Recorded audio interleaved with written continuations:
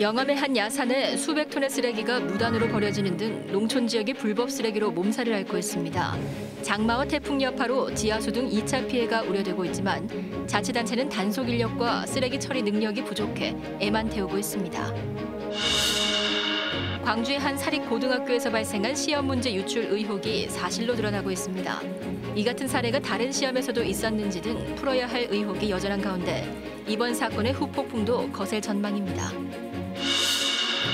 광주에서 열리는 세계 수영 선수권 대회 개막이 이제 이틀 앞으로 다가오면서 선수단이 속속 입국하는 등 대회 분위기가 달아오르고 있습니다.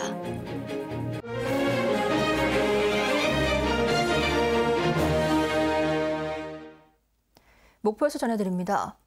전남 지역에는 인적이 드문 시골이 많은데요. 곳곳에 폐기물과 쓰레기를 불법으로 투기하면서 주민들이 고통받고 있습니다. 하지만 지자체는 예산이 없다며 쓰레기 처리에 난색을 보이고 있습니다. 손준수 기자의 보도입니다. 차량 한 대가 빨간 불빛을 내며 산속으로 나 있는 도로를 내달립니다. 멈추세요! 멈춰! 전남 영안군의 한 야산에 쓰레기를 무단 투기하고 도주하는 장면을 주민이 촬영한 영상입니다. 차량 세대를 막아놨는데 그걸 무시하고 밀고 나가더라고요. 그래서 상당히 좀 당황스러웠습니다.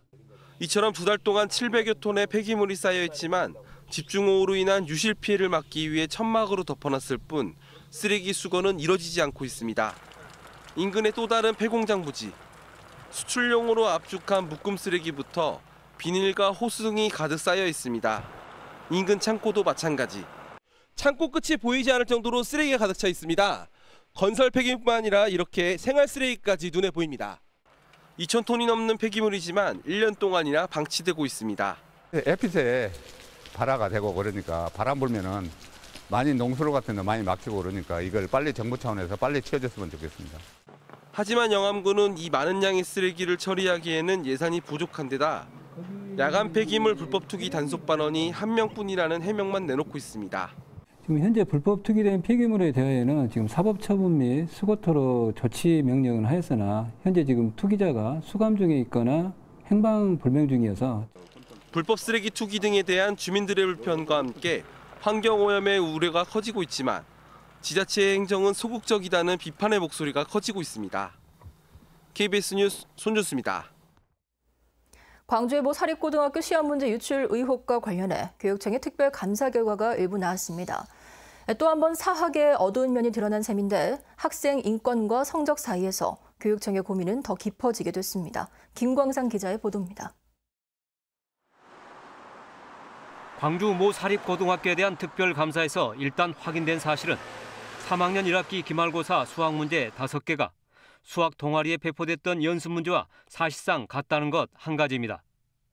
기숙사 학생들의 수학 동아리 중 한 곳에 석장의 문제지와 해설지가 배포된 5월과는 두 달 정도의 간격이 있고 일부는 주관식을 객관식으로 또는 부등호 등을 바꿔 출제했지만 거의 베끼기 수준이었던 셈입니다.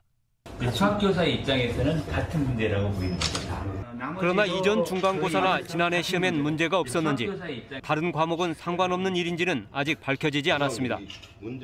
더구나 어떤 의도가 있었던 것은 아닌지 교사 개인을 넘어 학교가 조직적으로 개입한 것은 아닌지 등은 이제 본격적으로 풀어야 할 숙제입니다. 일개 선생이 일탈 치고 실수로도 뭐라 할 거고. 더큰 문제는 이번 일이 학업 성적에 따른 차별이 빚어낸 언젠가는 터질 사건이었다는 점입니다. 이번 사건은 과도한 경쟁을 부추기는 교육 현실이 가장 근본적인 원인이다. 감사가 끝나면 중징계와 형사처벌 의뢰가 예상되고 동아리에 들지 못했던 학생 측의 소송 등 후폭풍이 적지 않을 것으로 우려됩니다. 하지만 사립고의 성적 관리에 대한 불신이 대학 입시에서 불이익으로 이어질 수 있고 학생과 학부모의 신뢰를 잃게 됐다는 점이 더 큰 손실이랄 수 있습니다. KBS 뉴스 김광상입니다. 전남의 한 고등학교에서 3학년 학생이 결핵 확진 판정을 받아 보건당국이 추가 역학조사에 나섰습니다. 전라남도 교육청은 지난 5월 초 목포의 한 고등학교 결핵 검사에서 고등학교 3학년 A양에게 유소견이 발견됐고 지난 3일 정밀검사상 양성 반응을 최종 통보받았다고 밝혔습니다. 또 해당 학생은 현재 격리 조치가 이뤄지고 있으며 이 학교 학생과 교직원 등 129명에 대해서는 X선 검사 결과를 토대로 잠복 결핵 여부 등 추가 조사가 진행될 예정이라고 덧붙였습니다.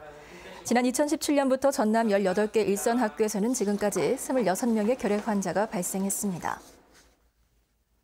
최근 발생한 베트남 이주 여성 폭행 사건을 계기로 영암군이 가정폭력 재발 방지 대책을 시행합니다. 영암군은 이번 달 안으로 관내에 거주하는 다문화 가족 전수조사를 다시 실시해 신규 가정과 변동 내역을 파악하고 주민등록 담당 공무원 교육을 강화해 신규 전입자 누락을 방지하기로 했습니다. 이와 함께 결혼 5년 미만 부부를 대상으로 한 다문화 가정 치유 캠프 사업은 물론 다문화 아버지 학교 프로그램도 강화할 예정입니다. 또 다문화 가족 방문 교육 서비스 연장 등 제도 개선을 정부에 건의할 방침입니다. 광주 세계 수영 선수권 대회 개막이 이틀 앞인데요. 최대 흥행 요소로 꼽힌 북한 선수단 참가는 사실상 어려울 것으로 보이지만 일부 종목은 입장권이 매진됐고 평균 75% 이상 판매됐습니다. 유승용 기자입니다. 아파트 10층 높이에서 뛰어내리며 찰나의 연기를 펼치는 하이다이빙. 여수에서 열리는 오픈워터 수영. 두 종목의 입장권은 일찌감치 90% 이상 팔렸습니다.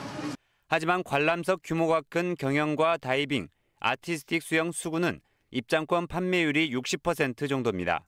조직위원회는 목표 금액 90%를 기준으로 95% 이상 팔렸다고 했지만 총 발행 좌석 수로 따지면 평균 75% 수준입니다.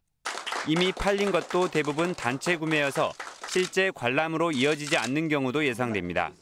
빈 관람석을 메울 대책이 필요한 이유입니다. 이제 시민 서포터즈도 있고 자원봉사자들도 있고 또 학생들도 이렇게 모처럼의 기회니까 이 기회를 통해서 보실 수 있도록 해서 대회 분위기도 붐업시키면서 빈 좌석도 없도록 하겠단 말.